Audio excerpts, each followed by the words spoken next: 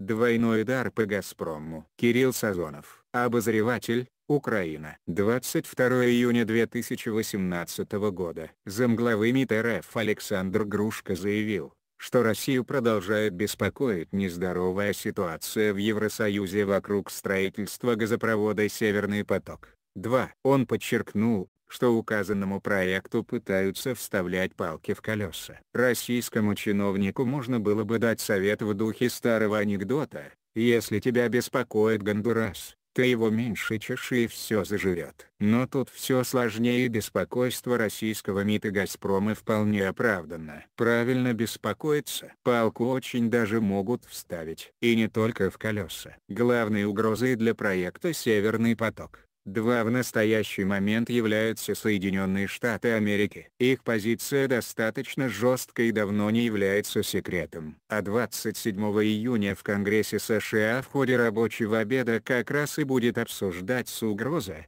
которую несет проект «Северный поток». 2. К чему придут конгрессмены в процессе обеда мы точно не знаем. Но хороших новостей российскому газовому монополисту ждать точно не стоит. Но оппозицию Трампа по вопросу этого проекта все знают. Президент США категорически против этого газопровода. И вероятное развитие событий вызывает опасения не только у российских участников строительства. Вторым ударом, который в ближайшее время может получить российский газовый монополист может стать решение ЕС. Германия и Австрия, конечно, будут сопротивляться, но Польша, страны Балтии и целый ряд других государств настроены решительно. Именно представители Польши настаивают на том, чтобы ускорить внесение изменений в газовую директиву ЕС. Согласно предлагаемым изменениям, все газопроводы, которые пролегают морским путем, будут подчиняться законодательству ЕС, а это резко усложнит строительство Северного потока.